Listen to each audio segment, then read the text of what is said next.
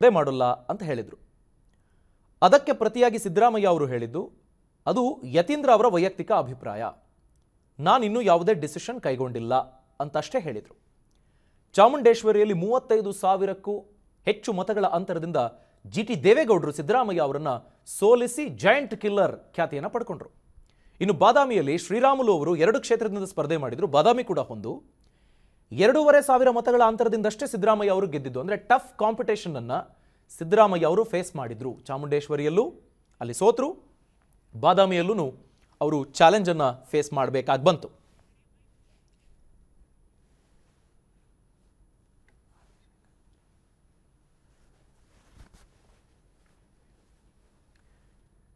ಈ ಬಗ್ಗೆ ಮಾಹಿತಿ ಪಡ್ಕೊಳ್ಳೋಣ. ನಮ್ಮ political bureau chief Maruti Pavagada ನೇರ ಸಂಪರ್ಕದಲ್ಲಿ ಜಾಯ್ನ್ ಆಗ್ತಿದ್ದಾರೆ. ಮಾರುತಿ ಇವರು ಸ್ಪರ್ಧೆ ಮಾಡಬೇಕಾ ಬೇಡವಾ?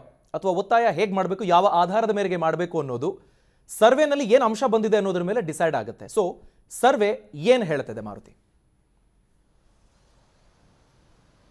ಅಭಿಷೇಕ್, ಎರಡ್ ಸಾವಿರದ ಇಪ್ಪತ್ತ್ಮೂರರ ವಿಧಾನಸಭಾ ಚುನಾವಣೆಯ ದೃಷ್ಟಿಯಿಂದ ಸಿದ್ದರಾಮಯ್ಯ ಅವರಿಗೆ ಕಾಡ್ತಾ ಇರುವಂಥದ್ದು ಯಾವ ಕ್ಷೇತ್ರದಿಂದ ನಾನು ಸ್ಪರ್ಧೆ ಮಾಡಿದೆ? ಅಂದರೆ ಸಿದ್ದರಾಮಯ್ಯ ಅವರಿಗೆ ಭಾಳಷ್ಟು ಕ್ಷೇತ್ರಗಳಿಂದ ಆಫರ್ ಇದೆ. ನೀವು ನಮ್ಮ ಕ್ಷೇತ್ರಕ್ಕೆ ಬನ್ನಿ, ನಾವು ಗೆಲ್ಲಿಸಿ ಕಳಿಸ್ತೀವಿ ಅಂತ. ಆದ್ರೆ ಯಾವ ಕ್ಷೇತ್ರದಿಂದ ನಾನು ನಿಂತರೆ ಎರಡು ಸಾವಿರದ ಇಪ್ಪತ್ತ್ಮೂರು ವಿಧಾನಸಭಾ ಚುನಾವಣೆಯಲ್ಲಿ ಗೆಲ್ಲಬಹುದು ಅನ್ನುವಂಥ ಒಂದು ಲೆಕ್ಕಾಚಾರವನ್ನು ಸಿದ್ದರಾಮಯ್ಯ ಅವರು ಆಗ್ತಾ ಇರುವಂಥದ್ದು ಈ ಹಿಂದೆ ಎರಡು ಸಾವಿರದ ಹದಿನೆಂಟರ ವಿಧಾನಸಭಾ ಚುನಾವಣೆಯಲ್ಲಿ ಎರಡು ಕ್ಷೇತ್ರದಲ್ಲಿ ಸ್ಪ- ಸ್ಪರ್ಧೆ ಮಾಡಿ ಒಂದು ಕ್ಷೇತ್ರದಲ್ಲಿ ಬಹಳಷ್ಟು ದೊಡ್ಡ ಮಟ್ಟದ ಅಂತರದಿಂದ ಸೋತಿದ್ರು.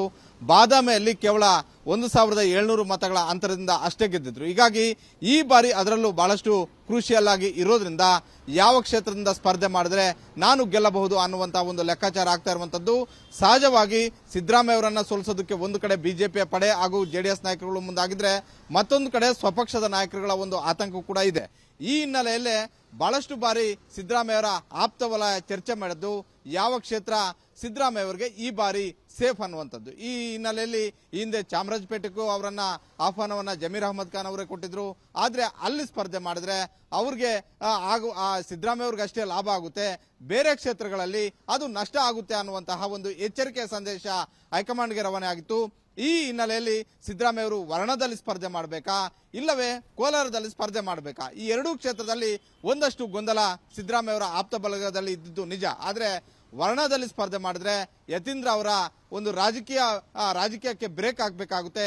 ಹೀಗಾಗಿ ಕೋಲಾರದಿಂದ ಸ್ಪರ್ಧೆ ಮಾಡಿ ಅನ್ನುವಂಥ ಒಂದು ಒತ್ತಾಯ ಮೊದಲಿಂದಲೂ ಕೂಡ ಇತ್ತು. ಈ ಹಿನ್ನೆಲೆಯಲ್ಲಿ ಕಳೆದ ಮೂರು ತಿಂಗಳಿಂದಲೂ ಕೂಡ ಸಿದ್ದರಾಮಯ್ಯವರ ಆಪ್ತ ಬಣ ಒಂದು ಖಾಸಗಿ ಕಂಪನಿಯಿಂದ ಮೂರು ಸರ್ವೆ ರಿಪೋರ್ಟ್ಗಳನ್ನು ಮಾಡಿರುವಂಥದ್ದು ಮೊನ್ನೆ ಸಿಕ್ಕಿರುವಂಥ ಒಂದು ರಿಪೋರ್ಟ್ ಅಲ್ಲಿ ಸಿದ್ದರಾಮಯ್ಯ ಅವರಿಗೆ ಪೂರಕವಾದಂತಹ ಒಂದು ವಾತಾವರಣ ಕೋಲಾರದಲ್ಲಿ ಇದೆ ಅನ್ನುವಂತ ಒಂದು ಸ್ಪಷ್ಟವಾದಂಥ ಒಂದು ರಿಪೋರ್ಟ್ ಅನ್ನ ಕೊಟ್ಟಿದೆ. ಅಂದ್ರೆ ಒಂದು ವೇಳೆ ಸಿದ್ದರಾಮಯ್ಯ ಅವರೇ ಕೋಲಾರದಲ್ಲಿ ಸ್ಪರ್ಧೆ ಮಾಡಿದ್ದೆ ಆದರೆ ಏನೆಲ್ಲ ಅನುಕೂಲಗಳು ಆಗಬಹುದು ಯಾವ ಕಾರಣಕ್ಕೋಸ್ಕರ ಅಲ್ಲಿ ಸಿದ್ದರಾಮಯ್ಯ ಅವರು ಗೆಲ್ಲಬಹುದು, ಬಿಜೆಪಿ, ಜೆಡಿಎಸ್ ಅಭ್ಯರ್ಥಿ ಸೋಲಬಹುದು ಅನ್ನುವಂತ ಇಂಥ ಒಂದು ಪ್ರಶ್ನೆಗಳನ್ನು, ಸುಮಾರು ಹತ್ತಕ್ಕೂ ಹೆಚ್ಚು ಪ್ರಶ್ನೆಗಳನ್ನು ಅಲ್ಲಿನ ವಿಧಾನಸಭಾ ಕ್ಷೇತ್ರದ ಜನರಲ್ಲಿ ಕೇಳಿ ಮಾಹಿತಿಯನ್ನು ಪಡ್ಕೊಂಡಿರುವಂತದ್ದು.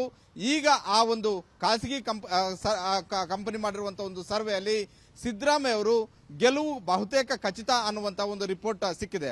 ಕಾರಣ ಇಷ್ಟೇ ಅವರು ಈ ಹಿಂದೆ ಐದು ವರ್ಷಗಳ ಕಾಲ ಅವರಿದ್ದಾಗ ಕೋಲಾರ ಜಿಲ್ಲೆ ಮತ್ತು ಚಿಕ್ಕಬಳ್ಳಾಪುರ ಜಿಲ್ಲೆ ಅವಿಭ- ಅವಿಭಜಿತ ಜಿಲ್ಲೆಗೆ ಮಾಡಿದಂತಹ ಕೆಸಿ ವ್ಯಾಲಿ ಆ, ಯೋಜನೆ ಏನಿದೆ ಈ ಒಂದು ಯೋಜನೆಯಿಂದ ಸಿದ್ದರಾಮಯ್ಯ ಅವರ ಒಂದು ಗೆಲುವು ನಿಶ್ಚಿತ ಅನ್ನುವಂಥದ್ದು.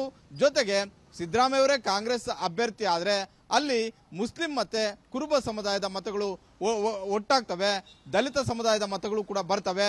ಈ ಹಿನ್ನೆಲೆಯಲ್ಲಿ ಒಕ್ಕಲಿಗ ಅಂದ್ರೆ ಶ್ರೀನಿವಾಸ್ ಗೌಡರು ಈಗಾಗಲೇ ಜೆಡಿಎಸ್ ಇಂದ ಎಸ್ಗೆ ರಾಜೀನಾಮೆ ಕೊಟ್ಟು ಕಾಂಗ್ರೆಸ್ಗೆ ಕಾಂಗ್ರೆಸ್ ಸೇರ್ಪಡೆ ಆಗಿರೋದ್ರಿಂದ ಒಕ್ಕಲಿಗ ಸಮುದಾಯದ ಮತಗಳು ಕೂಡ ಒಂದಷ್ಟು ಬರಬಹುದು ಅನ್ನುವಂತ ಒಂದು ಲೆಕ್ಕಾಚಾರವನ್ನು ಹಾಕಿರುವಂತದ್ದು. ಹೀಗಾಗಿ ಕೋಲಾರದಲ್ಲಿ ಸಿದ್ದರಾಮಯ್ಯ ಅವರೇ ಸ್ಪರ್ಧೆ ಮಾಡಿದ್ರೆ ಕಾಂಗ್ರೆಸ್ ಅಭ್ಯರ್ಥಿ ಗೆಲ್ಲೋದ್ರಲ್ಲಿ ಯಾವುದೇ ಅನುಮಾನವೂ ಕೂಡ ಇಲ್ಲ ಅನ್ನುವಂತಹ ಒಂದು ರಿಪೋರ್ಟ್ ಕೈ ಸೇರಿದೆ. ಆದ್ರೆ ಇಷ್ಟರ ನಡುವೆನೂ ಕೂಡ ಸಿದ್ದರಾಮಯ್ಯ ಅವರಿಗೆ ಒಂದು ಆತಂಕ ಇರುವಂತದ್ದು ಕೋಲಾರ ನಾನು ಸ್ಪರ್ಧೆ ಮಾಡೋದಕ್ಕೆ ಸೇಫ್ ಅನ್ನುವಂಥದ್ದು. ಯಾಕಂತ ಹೇಳಿದ್ರೆ ಕೆ ಎಚ್ ಮುನಿಯಪ್ಪ ಅವರು ಈಗಾಗಲೇ ಕಾಂಗ್ರೆಸ್ ಕಾಂಗ್ರೆಸ್ ಅಲ್ಲಿ ಒಂದು ಹೆಜ್ಜೆ ಹೊರಗಡೆ ಇಟ್ಟಿದ್ದಾರೆ ಅನ್ನುವಂತ ಒಂದು ಚರ್ಚೆಯೂ ಕೂಡ ಆಗ್ತಾ ಇದೆ. ಜೊತೆಗೆ ಸಿದ್ದರಾಮಯ್ಯ ಅವರ ಬಣದ ವಿರುದ್ಧ ಮುನಿಯಪ್ಪ ಅವರು ಈಗಾಗಲೇ ಹಲವು ಬಾರಿ ಮಾತಾಡಿರುವಂಥದ್ದು ರಮೇಶ್ ಕುಮಾರ್ ನಾರಾಯಣಸ್ವಾಮಿ ಸ್ವಾಮಿ ಹಾಗೂ ನಜೀರ್ ಅಹಮದ್ ಸೇರಿದಂತೆ ಕೋಲಾರ ಕಾಂಗ್ರೆಸ್ ನಾಯಕರುಗಳು ಒತ್ತಾಯ ಮಾಡ್ತಿದ್ರು ಕೂಡ ಸಿದ್ದರಾಮಯ್ಯ ಅವರಿಗೆ ಕಾಡ್ತಿರುವಂಥ ಒಂದು ಆತಂಕ ಮತ್ತೆ ಆತಂಕ ಏನು ಅಂತ ಹೇಳಿದ್ರೆ ಕೆ ಎಚ್ ಮುನಿಯಪ್ಪ ಅವರ ನಡೆ ಏನಾಗಬಹುದು ಅನ್ನುವಂಥದ್ದು. ಹೀಗಾಗಿ ಕೆ ಎಚ್ ಮುನಿಯಪ್ಪ ಅವರು ಒಂದು ವೇಳೆ ಸಹಮತ ಸೂಚಿಸಿದ್ರೆ ಮುಂದಿನ ದಿನಗಳಲ್ಲಿ ಸಿದ್ದರಾಮಯ್ಯವರು ಕೋಲಾರದಿಂದ ಸ್ಪರ್ಧೆ ಮಾಡುವುದು ಬಹುತೇಕ ಖಚಿತ ಅನ್ನುವಂತಹ ಒಂದು ಮಾಹಿತಿ ಅವರ ಆಪ್ತ ವಲಯದಲ್ಲಿ ಆ- ಚರ್ಚೆ ಆಗ್ತಾ ಇದೆ. ಎರಡು ಮೂರು ಬಾರಿ ಈ ವಿಚಾರದ ಬಗ್ಗೆ ಅವರ ನಿವಾಸದಲ್ಲಿ ಸಭೆ ಮಾಡಿದಾಗಲೂ ಕೂಡ ಇದೇ ವಿಚಾರವನ್ನ ಸಿದ್ದರಾಮಯ್ಯ ಅವರು ಕೋಲಾರ ಕಾಂಗ್ರೆಸ್ ಮುಖಂಡರ ಮುಂದೆ ಪ್ರಸ್ತಾಪ ಮಾಡಿದ್ದಾರೆ ಆ, ಅಭಿಷೇಕ್. ಧನ್ಯವಾದ. ಮಾರುತಿ ಪಾವಗಡ.